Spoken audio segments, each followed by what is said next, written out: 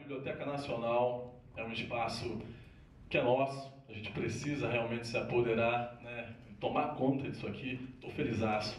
Público seleto, vocês não me conhecem, eu não conheço a maioria de vocês, conheço algumas pessoas convidadas aqui, mas eu estou realmente muito contente de estar aqui. É, o sonho é aquela, aquela história, né? A gente está acertando as coisinhas aqui. O que mais nós vamos fazer hoje à noite aqui? Um pequeno happy hour, tá certo? Vou mostrar algum algumas coisas do meu trabalho, enquanto aqui lombando, enquanto pavão, e mostrar umas músicas também, poesia também. Espero que vocês gostem, tá bom? Prometo que eu não vou demorar muito não, porque a gente também tem hora para chegar em casa. Aliás, vocês viram, né, cara? A gente começou um pouquinho atrasado justamente por isso. É complicado morar em outras quebradas e aí para chegar também é complicado. Mas vamos que vamos.